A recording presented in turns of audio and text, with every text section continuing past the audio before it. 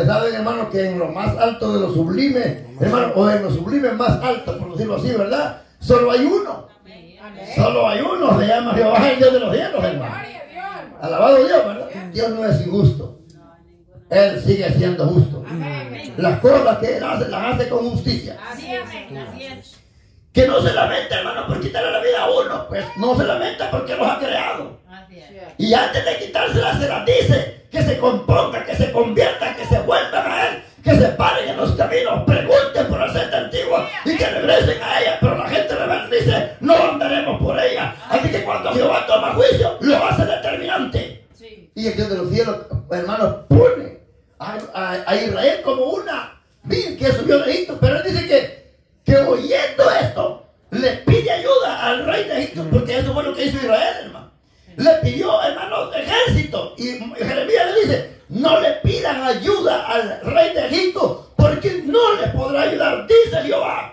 Él dice que se entreguen a los caldeos para que vivan. Sí. Así dice Jehová el Señor.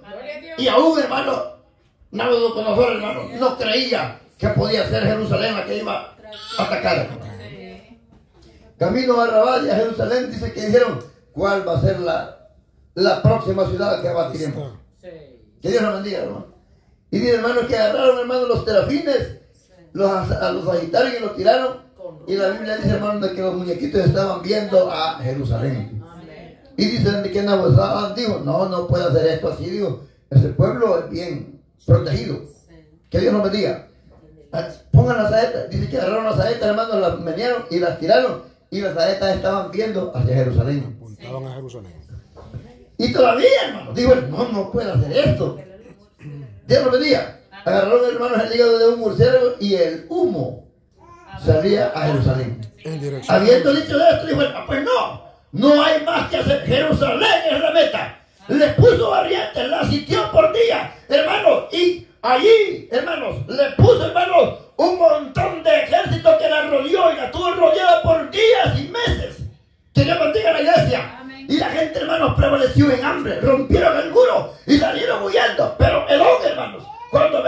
decía, arrásenla, ahí va, arrásenla, arrásenla. Y en Jeremías en su lamentación dice, bienaventurado sea aquel que, te dé- el que le dé el pago a Edom, porque él gritaba, arrasadla, Sí, arrasadla. Y él cuenta, hermano, diciendo, el, el- el- el rey David, cuando íbamos de cautivos, nos sentamos junto al río de Babilonia, y ahí llorábamos, y los que nos llevaban cautivos, nos decían, cántenos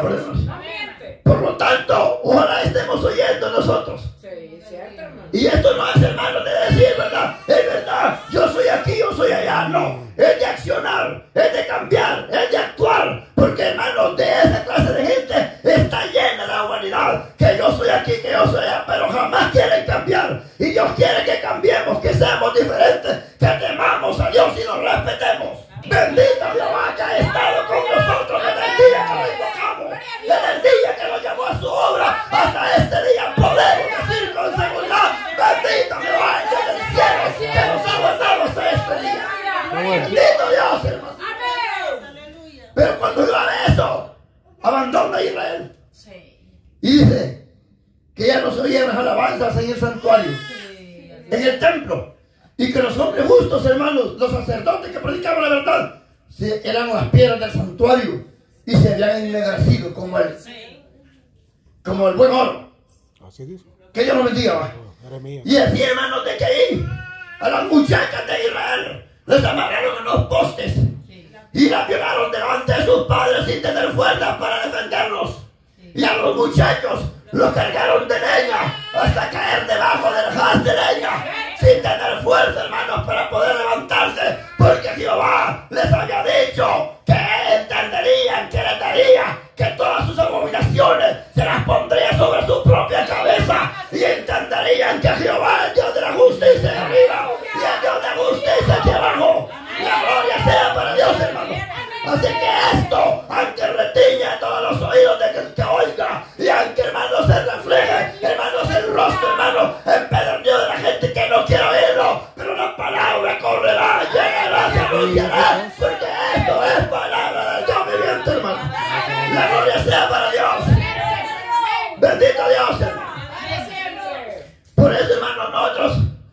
no esperamos ser cortados como el cogollo, hermanos de Israel, y viajar para Jerusalén y ser cautivo él. No. Pero este pequeño remanente está a punto de saltar de aquí para otro lado. Y que la gente diga que ya tiempo vienen hablando que Cristo viene y no viene. Pues yo pienso que le debería dar gracias a Dios si no ha venido y usted está vivo. ¿Verdad? ¿Verdad? Porque si no ha venido, tiene esperanza.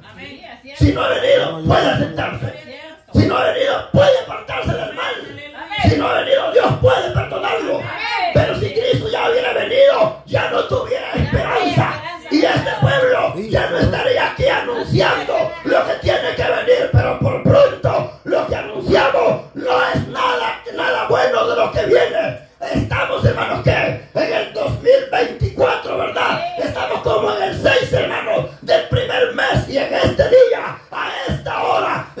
Anunciamos a todos, hermanos, en las ciudades, a todos los cantones, a todos los pasajes, a todo el mundo, que lo que viene no es nada bueno, porque el Señor predice juicio para la humanidad. Y juicio ha dicho, juicio vendrá delante de Dios, hermano. Así será. Gloria a Dios. Amén. Y aunque la gente no le agrade, hermano. Dios lo bendiga, ¿verdad? Pero el Señor dijo que la iglesia la libraría de las angustias que vendrían del mundo, hermano. La hora de la prueba. Alabado sea, hermano. Así que no podemos seguir fingiendo. No podemos seguir hermanos, diciendo que somos cristianos y no lo somos. No podemos seguir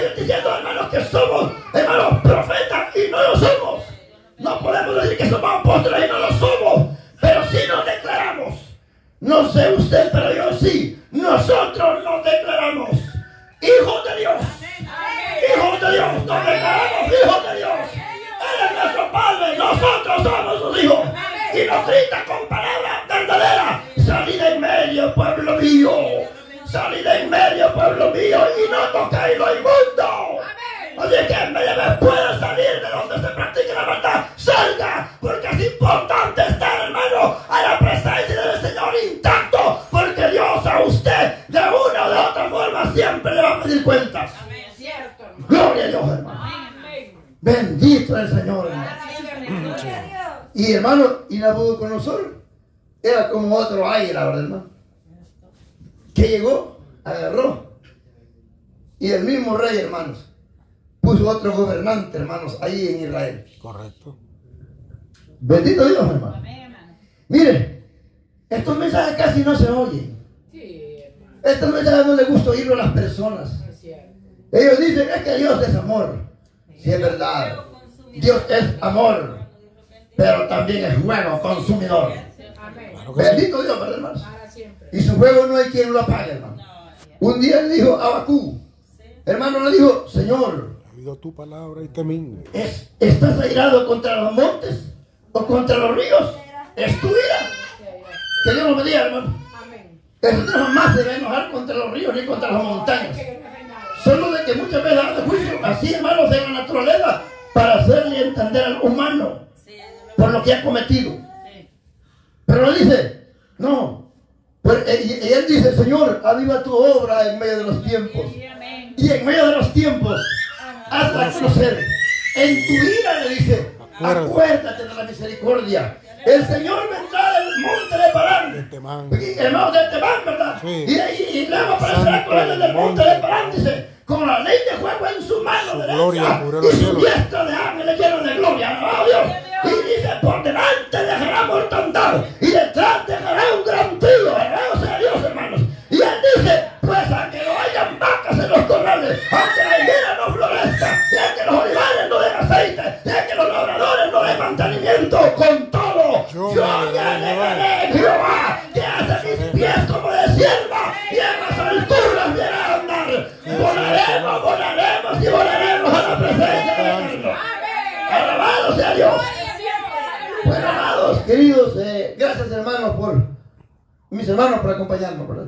Sí, amén. Porque hermano, mire qué terrible es oír derroche de sabiduría y vacío. ¿Verdad? Sí. Necesitamos el don de Dios. Necesitamos la presencia del Señor. Y yo sé, hermanos, que el Señor puede darnos carro, puede darnos dinero, puede darnos terrenos. Pero Él lo que quiere es que le pidamos su presencia. De nada sirve tener carro sin la presencia del Señor. De nada sirve tener dinero si Dios no nos acompaña. De nada sirve tener terrenos si Dios no está con nosotros. Pero si Él está con nosotros, bienvenido sea todo lo demás, ¿verdad, hermanos? Así que, hermanos queridos, yo les voy a invitar en el nombre de Jesús a que juntos adoremos al Señor en esta maravillosa noche, en, esta, en este medio de las dos tardes, ¿verdad, hermanos? En el nombre de Jesús, orémosle al Todopoderoso. Amén.